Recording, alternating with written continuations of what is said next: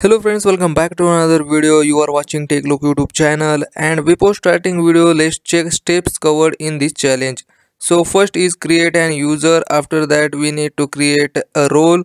After that, we are creating uh, one more user and then assigning manager to the own user. After that, we are creating a custom fields and uh, in the last we are creating one email folder and that that email folder we are assigning two email templates. So let's get started with this video. If you are new on the channel please subscribe to the channel and press the bell icon. And here is our first unit that is prepare your org. Just open it and uh, let's go into challenge section. And uh, here is a challenge section. Just click on the launch button. And after that here is the setup icon. Just a gear icon. Just click on the setup. And uh, here we have opened our org that is setup org. After that here is a quick find box just find for the users. Type here user and here is a users just click on the users. And after opening we need to create a new user. So for that just go upside and uh, here you can see there is a column. And just copy the first name and after that we need to paste it into user just click on the new user and here is a first name. Just paste it here and just similarly copy the second name and paste in the given box that is last name and alias uh, automatically generated by the salesforce system. And after that we need to provide here email address and uh, provide your genuine email address. And here we need to select our username. For that there is uh, some rules just uh, go back and copy the a wheeler just uh, i am showing that you just paste it, uh, paste it here uh, that is a wheeler at the rate option. And uh, after that we need to give some name. Uh, it's better to give your own name. And after that just click dot com. Just i am showing that and you can add some digits also. After that here is a nickname so uh, nickname is already given and we need to select only given uh, nickname just copy that and and uh, paste it here. After that we need to provide a title just copy title and paste it here. Similarly copy all the required fields and paste it here. Now just watch the full video and if you stuck anywhere just comment your problem. I will tell you solution of the problem